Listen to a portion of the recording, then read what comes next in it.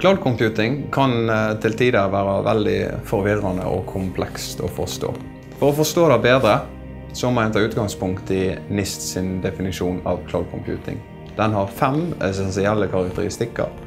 Du har eh, elastisitet, du har sammenslåing av ressurser, selvbetjening og automatisering, og det er tilgjengelig på nettverket. Så hvis en går litt nærmere inn på det, så har du tre typer deployment models. Du har public cloud, private cloud og hybrid cloud.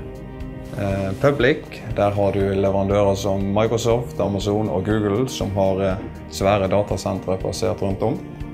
Private, det er din cloud som du administrerer i ditt eget datasenter bak din egen brannmur.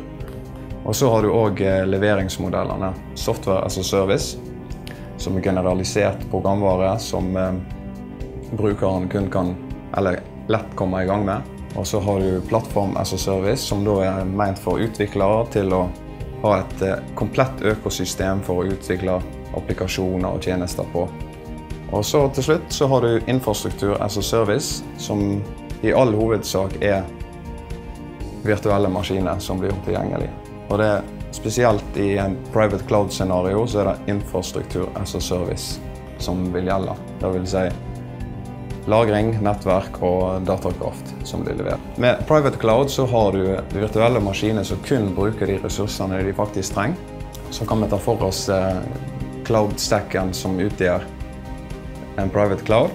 Og da har du i bunn Windows Server 2008 R2 med Hyper-V som eh, dekker infrastrukturlaget. Så har du administrasjon og overvåkning, typisk Virtual Machine Manager og Operation Manager. Og så har du eh, det som er relatert til sikkerhet. Det er Data Protection Manager, System Center for Front. Og så har du den nye typen vitenskap, om jeg kan kalle det det. System Center Orchestrator i lag med System Center Service Manager, som tar for seg eh, prosesser etter best practice og får det automatisert. Og alt, alle de her produktene de snakker sammen. Orchestrator limer alt i hop. Og API-en mot hele cloud-stacken er PowerShell. Så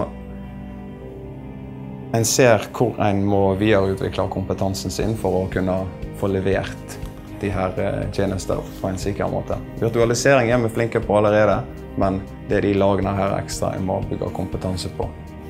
Så for å komme i gang, last ned Windows Server 2008 R2 og installer Hyper-V, og ta deg en kopp kaffe.